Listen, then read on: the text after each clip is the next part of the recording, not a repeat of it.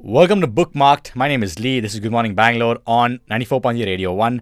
Right now, life sometimes can take an, you know a crazy journey, right? And it pushes us through the edge of our resilience. And I think that one person who can definitely talk about that is the, my guest this morning, Akshat Gupta. Hi, welcome to the show. How are you doing this morning? Hi Lee, I'm fine. Thank you so much for inviting me here. It's a pleasure to be here. The author of the uh, Hidden Hindu trilogy. The third book has come out in April, and Yes. it's doing absolutely wonders. The first two books were bestsellers. The third one, of course, is a bestseller, and you so many more plans for the uh, trilogy itself. Uh, talk to me about what inspired you to write this story and where the idea came from. Okay. Uh, there are two things that I can tell you. Uh, one is that, you know, uh, all our Gen Zs, Mm. they know everything about Marvel and DC. Me being a Gen Z, I can say yes, I do. Yes. Yeah. You know, I will ask you seven superheroes of Marvel, you, you will give me 10, Yeah, yeah, of course. right? Yeah. Same goes with DC. Mm. But suddenly, if I will ask you, tell me the name of seven immortals of Hindu ancient scriptures, you might not be able to tell me. Probably not. No. right? So you may give give me two or three names, but m- most probably not all the seven. Mm. I realize that you know we collectively and individually are searching and exploring the whole world, hmm even outside the planet, but we have still not reached the core of Earth. Right. We are making um uh, all these cabbages and chicken and eggs synthetic but edible. hmm Yet we don't know how to make honey. we are still stealing it from the bee. Yeah. So it is good to know the whole world, but you will only understand everything better when you will know yourself.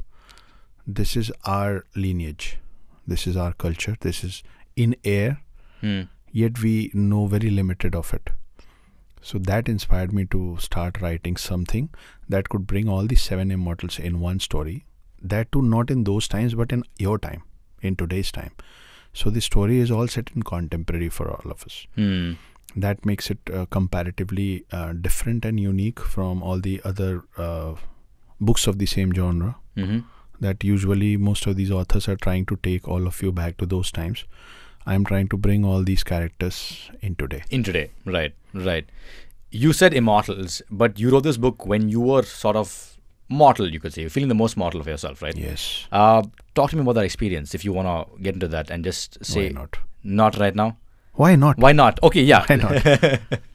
uh, you wrote this while you were in hospital you know and Yes. you tried to take your own life and i'm so glad you didn't Yes. because this came out of it. Yeah. You know um what prompted you to sit in the bed and be like i want to tell a story today okay honestly speaking uh, the why i wrote it for gen z's was the second reason mm. The first reason was, as you mentioned, I had the worst of my lifetime in 2014 15.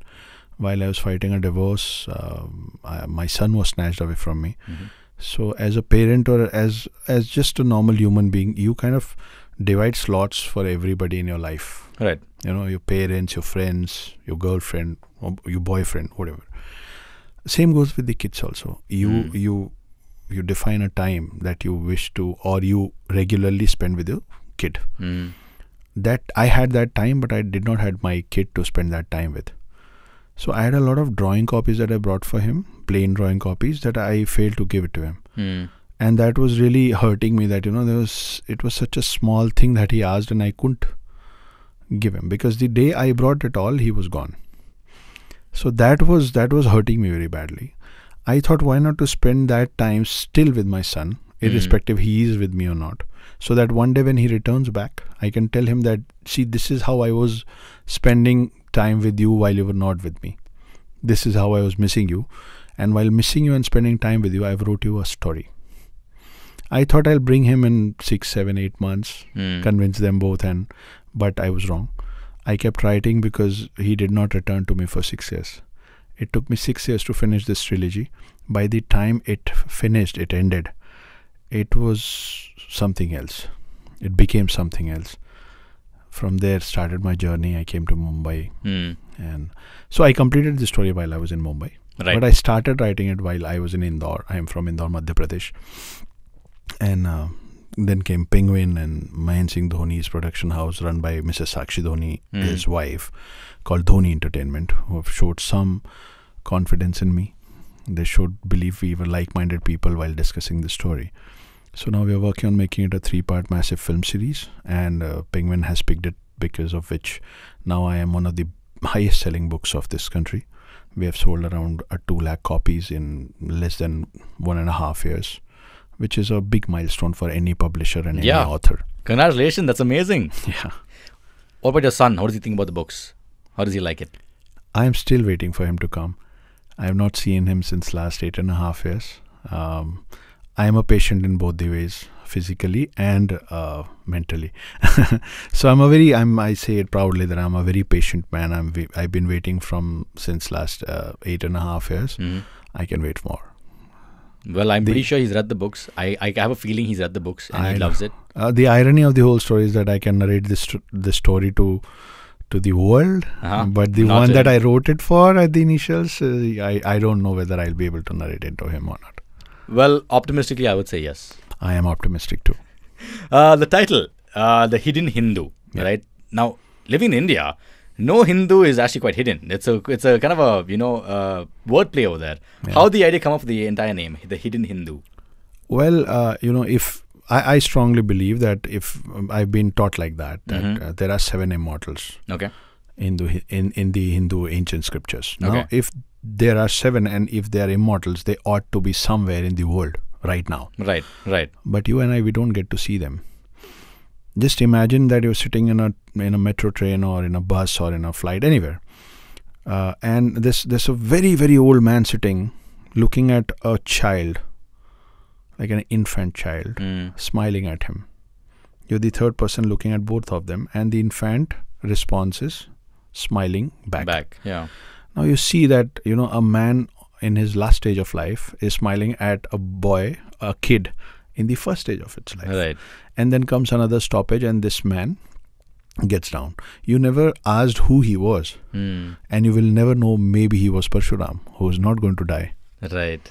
maybe there will be a day when this infant becomes as old as parshuram and they still sit in front of each other smiling at each other and you would Mm. never know that so i believe that all these seven immortals are hidden among us they are not uh, you know they are not roaming in the same way that we have always imagined and shown them Mm. maybe not with a janeo and a dhoti and a, they're not coming in a chariot Maybe anymore. they wear like a Star Wars shirt and sit and talk to you. why not Yeah. at least a kurta At least a kurta.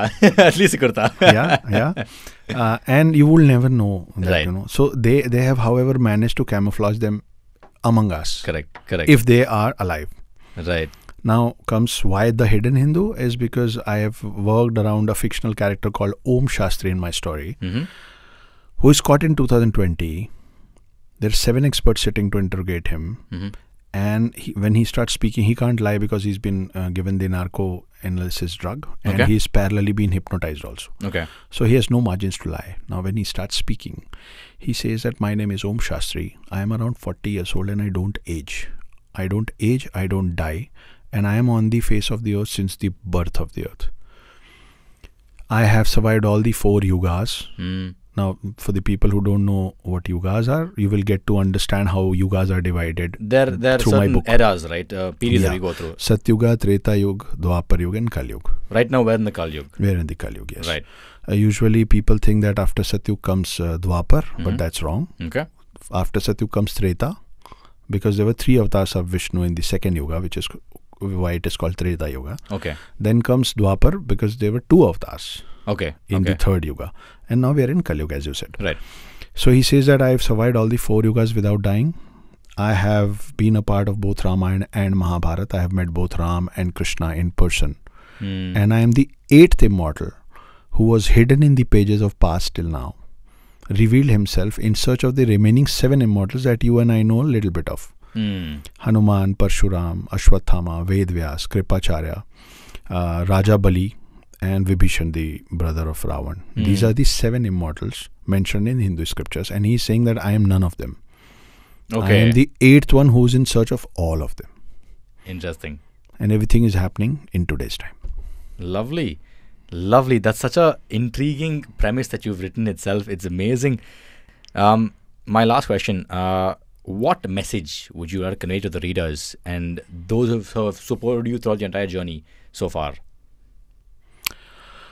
Thank you is an understatement. First of all, you have shown me so much of love. I was a no one, and I will always be a no one without you guys. I try to be in touch with all of you on Instagram.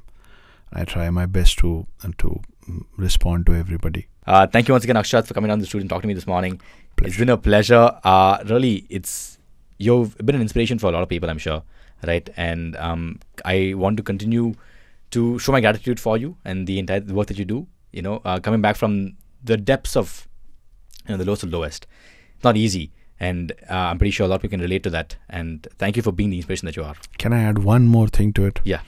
Uh, you know, this is especially for those people who think that they cannot read.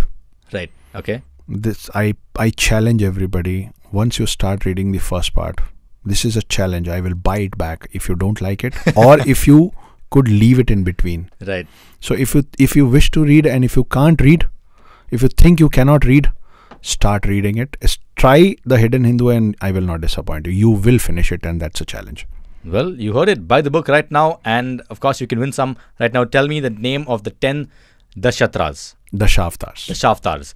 Tell me the name of the 10 Dashavatars, and you can win yourself the uh, trilogy on the show. Ten avatars of Vishnu.